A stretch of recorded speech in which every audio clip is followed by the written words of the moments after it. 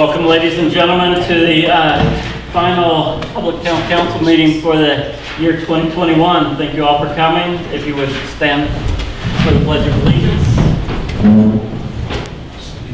Pledge allegiance to the flag of the United States of America and to the republic for which it stands, one nation, under God, indivisible, with liberty and justice for all. Hash, if you could lead us in invocation, please. Let us pray. Gracious and loving God, we give you thanks for this day that you have blessed us with. God, we give you thanks and we ask your blessing on the people who have been called to lead our community. This place we call home, this place we live, we work, we play. God, grant them and us the wisdom and the courage to know and do what is right and good and true. This we pray in the name of your Son, Jesus Christ our Lord. Amen. Amen. Please be seated. The first on the agenda in the special presentation or request, we're going to uh, do an audit presentation by Corbett Stone with Robinson Farmer Cox Associates. Is that sir? And welcome back. Well, thanks for having me. Uh, How was Richlands first, by the way? They doing okay? Rick Sainz is doing fine. Literally just, just stepped away from the podium over there and walked right up to this podium. I see no bruises on you. There were, uh, one time I had to give a, a tense presentation. I actually had to meet with the board twice. And I was, I was- an attorney was, was present, had some bad news for me. Went into the first meeting, and as we left, he said, well, why didn't you give him the bad news? I said, because I've got to meet with him again next week. It's one thing to have them throwing rocks at you when you're walking in. You- You got a chance to get in the way, though. But, but thanks for having me. You should all have an audit presentation in front of you. And, and I'll tell you that I was very pleased this year uh, during the audit. The audit went very well. Um, We didn't have many adjusting entries as we've had in the past. Of course, the, the town got a consultant, kind of help them close out the books, but we were very pleased. Uh, You did receive an unqualified opinion, which means we believe those financial statements are materially correct. Uh, And you did not have, uh, we actually got rid of a finding in the back of the report. Uh, We still have one back there, it's not that significant. And uh, so, like I said, I was just very pleased with how it went. If you'll turn to page one of the handout, kind of go over some of these numbers. Steve, getting ready to blow. I don't know if we even need it. I'm gonna cut it off. Is that the weird tone that's going on? I think it's worth it. On, on page one of the handout, hopefully everybody has a copy of this. I'll walk you through it. Uh, we've got the general fund balance up there at the top. You can see you ended 2021 with a general fund balance of 544. That's up from 290 in the prior year and up from 103 in the year before that. So I kind of like that trend. Um, not included in that fund balance uh, are your ARPA funds. I think you had about $2.1 million in memory serves that you received in ARPA funds. We don't recognize that as revenue until we have allowable expenses. So when you receive ARPA funds, you debit your bank account and you credit essentially a liability uh, due back to the federal government. We call it unearned revenue. Uh, If you don't spend those, those grant funds in accordance with the requirements, then you would have to return it. So until you have allowable expenses, it sits there as a liability. Uh, Water and sewer funds, you can see we're up a little bit. Uh, That's the net position. And, and really net position takes all the assets of the system minus all the liabilities of the system. It's the best guess of what we think, you know, the system is worth at the end of the day. Uh, Those are depreciated values for assets, so we do depreciate those over some period of time. Total cash and investments, $3.1 million. Again, 2.1 of that uh, represents ARPA funds. Uh, So that's all funds, you had $3.1 million, 2.1 is ARPA, uh, actually a little bit more than 2.1. um, So actual available cash, if you will, $957,000 at the end of '21. You see that's an increase, it's the highest it's been since 2017. Uh, That fund balance, while it's growing, of course, we'd like it to be a little bit higher. For a town this size, I'd like to see about 25% of your operating budget for the general fund, be a good target. Uh, But I like I like the direction you're heading in. Total outstanding debt, $4 million. Uh, Your pension liabilities, we break it down by water and sewer fund and the general fund. And then OPEB liabilities, and OPEBs are post-employment benefits. Uh, So if you allow retirees to sell your health insurance, you participate in the VRS group life program, that sort of thing. Um, That's what those liabilities are population, 4,113, and that's probably one of the, the key numbers to focus in on there. And I think I mentioned that last year. Uh, These are estimates from the Weldon Cooper Center, but you can see population back in 2012, they estimated at 4,500. So we've had a decrease of about 400 people over that, that 10-year period. And, and you know, when you, when you have a decrease in population, you you didn't get rid of any roads, you didn't really get rid of any water sewer lines, you still got to maintain the same stuff. And inflation went up, and paying employees went Yeah. up. Same, So it's a, um, it, it- it's tough. It's, it's tough to, particularly growth fund balance when you've got a declining population. Uh, debt per capita, that's just your debt per capita, nine hundred seventy-eight dollars, does not include those OPEB or pension liabilities. If we included those, we'd be at seventeen hundred twenty-three dollars. That compares to a state average, I think, of about twenty-seven hundred dollars from last. So really debt and liability, long-term liabilities on a per capita basis are very reasonable for the town. The second page, I just kind of, I got some of that stuff graphed out at the bottom. Again, you see that big spike in cash investment balances, and that's because of the ARPA funds we received right at the end of the year. The next page are just your original taxes, tax assessments. Um, and you can see we had to jump up in 13 and then uh, in 21, uh, we're at $276 million in total, total real estate assessments. So not much growth since 2013. We are starting to see real estate, I don't know um, how Castle County's faring. We're starting to see the prices of real estate go up. Uh, So in a couple years from now, you may see a pretty good, pretty good jump in those assessed values. Same with personal property. I don't know if you've priced a used car lately, but they're getting very expensive. So we do expect those to move upwards. Uh, So that will, should increase some, some tax revenue. On the flip side, as Todd mentioned, if your expenses are going up by the same percentage because of inflation, uh, you really haven't made any gains. The next page is our VRS, uh, really our VRS audit, if you will, the retirement system. uh, Found a person that retired but didn't really, wasn't eligible to retire. They'd only worked a couple of years, and the locality never took them out of the retirement system. They they made a contribution towards their retirement for years. So VRS now has us come in, and we look at terminated employees to make sure they've been taken out of the VRS system, uh, so you don't continue to make a contribution for them. We look at new hires to make sure they've been put into it. And then we randomly select people to make sure that the salary that's been reported, which will ultimately drive their retirement benefits, is correct in the VRS system.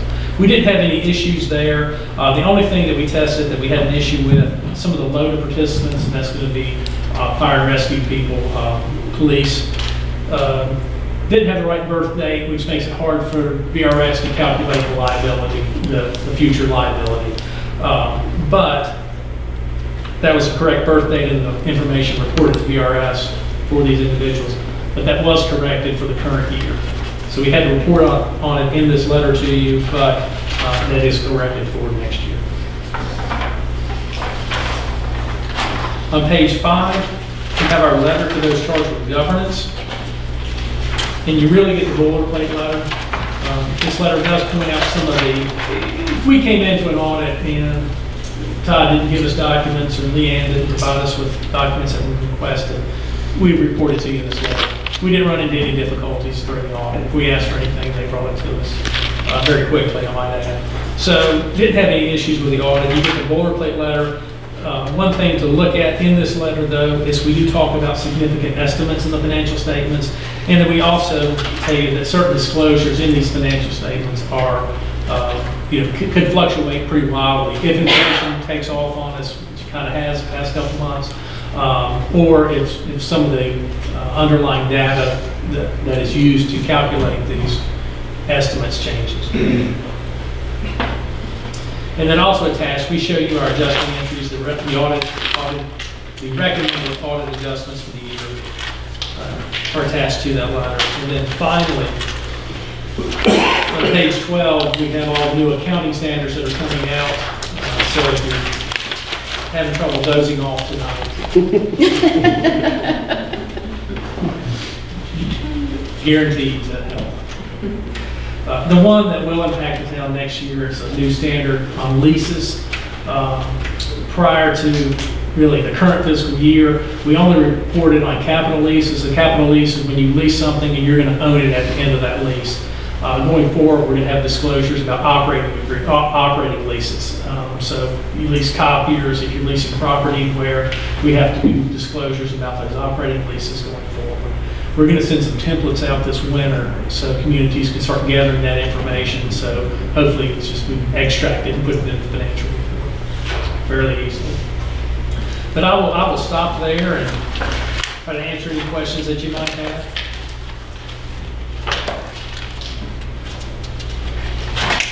Also want to add to that, outside of the two hundred K fund balance, there's also a debt service value in there too. It will get five hundred, four hundred thousand. So that- The that- Debt debt service, For, the general fund debt service. uh, um, well, that's be- with the water and sewer. yeah, you're thinking water and sewer. Yeah, I'm thinking water and sewer, two hundred thousand over and beyond fund balance. Well, and net position takes that into account. So we talk about net position, we take all the assets minus all the liabilities. So it's been backed out in those calculations of of net position for water and sewer funds. Any questions? Good. Thank you very much. Well, thank- We appreciate it. Well, thank you for having me. My contact information is on the front of the handout. We're here to serve you guys. So if you have any questions or you, you think I might be able to help you with anything, don't hesitate to, to call me or send me an email. Appreciate that. We, we won't throw anything heading out the door. Thank you. Merry Christmas. Merry Christmas. Merry Christmas. Thanks for having me, you guys. Thank you. Thanks. Uh, Next on the agenda, uh, so there's no new business recognition. So uh, can I get a motion, the approval of the council meeting minutes on November 9th, 2021? So moved. I get a second? Second. Any discussion? All in favor of approval, stay so by saying aye. Aye. All opposed, stay so by saying nay. All right, motion carries. Next, the approval of the financial statements and financial report for November 2021. Need a motion to approve. So moved. Can I get a second? Second. Any discussion? All in favor, stay so by saying aye. Aye. All opposed, stay so by saying nay. All right, motion carries. Next is committee and conference updates, uh, planning commission committee, Councilmember Davis. Okay, so the planning commission has actually had two meetings. We met, uh, this Monday and the Monday before. The Monday before, we had somebody come in before us looking at expanding, um, their storage building operation. Um, we needed some additional things on the, the plat and plan that they brought in, so they're gonna be coming back in January. Um, we also talked about, um, zoning updates. If you'll recall, we've been asked to, and we had a public meeting about the zoning where we would take away the, the cumulative zoning. So in the business district, if something happens to your building and it's a business use, you have to put it back into a business use. It can't go into residential the way it does now. Um, we had a bunch of people that came to the public meeting and voiced objection on that. Um, it came back to the planning commission and we did not move forward on it. Um, it's been pretty much brought back to us and we feel like possibly we need to have, um, even maybe a joint meeting or joint work session to get more direction on, on how it needs to be. Um, so there was that, and then, let me see. Um, we also had a very, very small discussion on tiny houses. Um, it's probably going to, to come up at some point, and so we're trying to, to get ahead of the trend and pull some information in, so if we need to make those changes, we can. And then this past Monday, we met, um, in regards to a- another storage facility that they are adding on um, an existing, onto their existing storage facility. And they do have a permit for it, and we reviewed everything, and we recommend approval going forward on this. So what are the two different ones? The one, the Bulldog storage, on Riverside. okay, sir.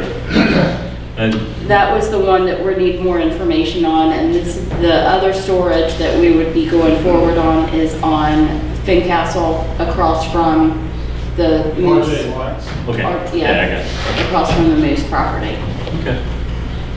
He's adding on, One. it's just one building, isn't it? Yeah. Do we have any questions? Concerns? Anything else? Nope. All right, well, uh, thank you. We'll, uh, now go to the unfinished business portion of our meeting. So, uh, first is the, the first reading of amendment to exis- existing ordinance of chapter 23, article 2, division 11, sections 23 through 64 and 23-66. Attorney Pius not here, so I'll let Michael do this reading. Okay, um, obviously this is just an amendment, so, um, I'm gonna be reading the, the prospective changes here.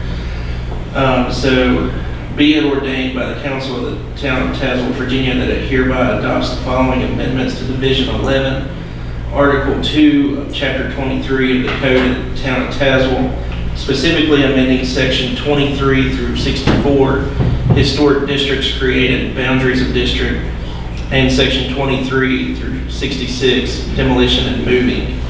Um, For Sections 23 through 64, it's Historic Districts Created, Boundaries of District, A, B, and C are going to remain unchanged. Uh, The change is going to be adding D. Um, That's going to read, "To maintain consistent preservation standards within historic districts, all contributing properties shall be included in the historic district." Then on section 23 through 66, demolition and moving, um, no structure or any appurtenances thereto that is in a designated historic district on the historic buildings map of the town of Tazewell shall be demolished except as follows.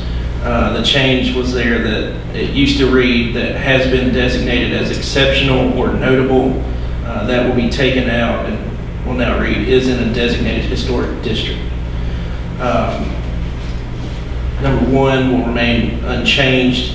For number two, um, if a showing is made by a property owner that a building in the historic district, that's how it'll read now. It used to read as designated as exceptional or notable, but now it'll say in the historic district is incapable of earning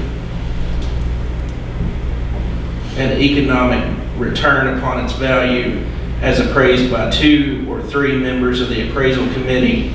The board shall be given a specific length of time not to exceed six months. Uh, That's a, that'll be taken away, the eight months for building rated exceptional, uh, within which to devise a course of action satisfactory to the owner.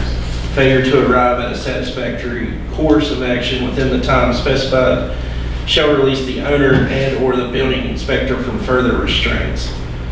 Number three, the moving of a building classified as take out exceptional or notable and include in, in the historic district and its appurtenances to a satisfactory site within a historic district or historic place may be recommended by the board, but only if no solution for its preservation or its present site can be found. So it's, It's probably in it. This kind of act. It's, it's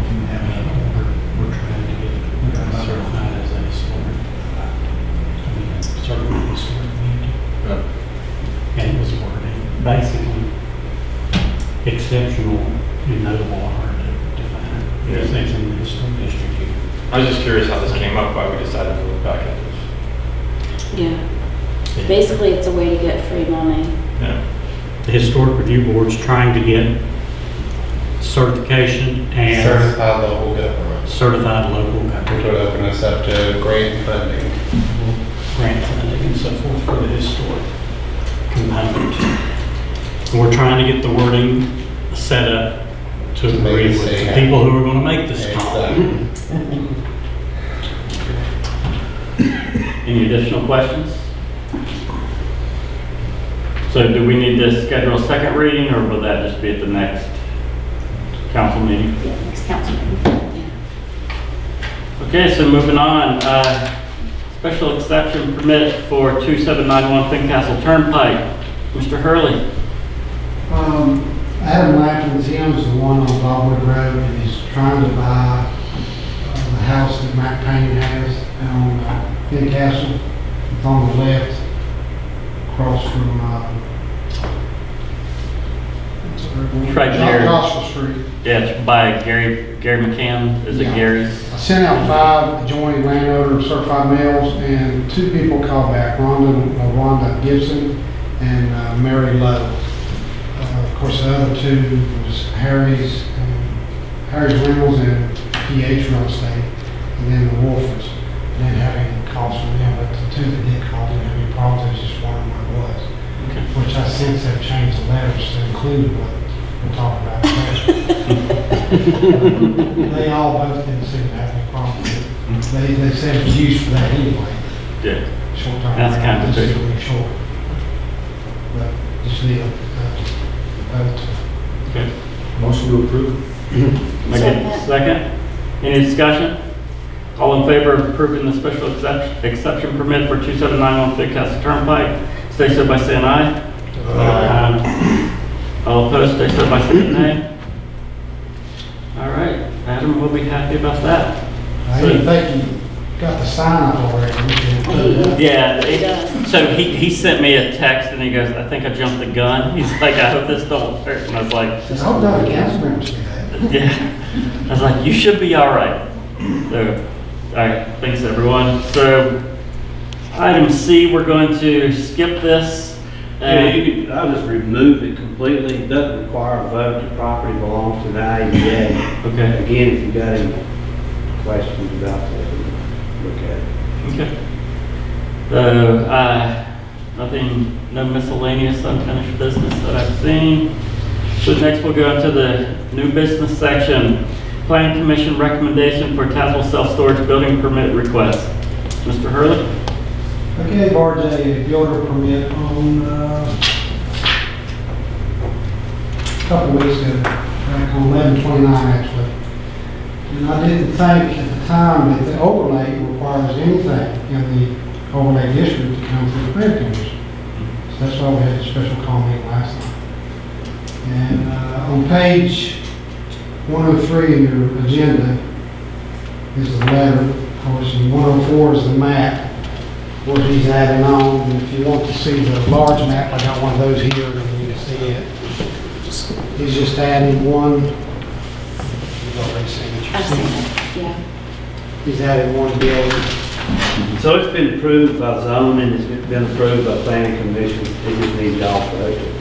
Mhm. It's the same building, it's just one more building, it's out of the floodplain, and it's, the setback's only ten, and he's actually forty-five feet from the right of way, so. Make a motion to approve, Mayor. I get a second? Second. Any discussion? All in favor of approving the building permit, stay so by saying aye. Aye. All opposed, stay so by saying nay. Glenn's asleep. All right, motion carries. Yeah, good seeing you, bud. Take care. Glenn Have a good Brian. Christmas. All right. So I don't believe there's any miscellaneous under new business. The chief, anybody sign in? So, No? So, uh, next is our council comments. The council? I'm very disappointed that we're not going to hear anything about. No groundhog talk. Donuts or groundhog? the executive session. That, oh, the- they're gonna be in the executive session, awesome. Okay, so, uh, I would like to say I was very pleased with the activities on December 4th, whoever is responsible Thank you, it was a great That was a great event. There Travel was- today, train station, we, Yeah, it was- it went great. So, uh, Chris, because we like you so much, we're actually having an executive session after this, but we're going to join the, uh, adjourn the public meeting. Uh, Can I get a motion to adjourn? Do we adjourn? Do- We gotta go into executive and then Okay, go so can I come get a motion back. to go catch and I'll call you back. To go Okay. into. A motion to go into executive session. If you want to. Got a second, any discussion? Yes, that's all a part of it. Okay.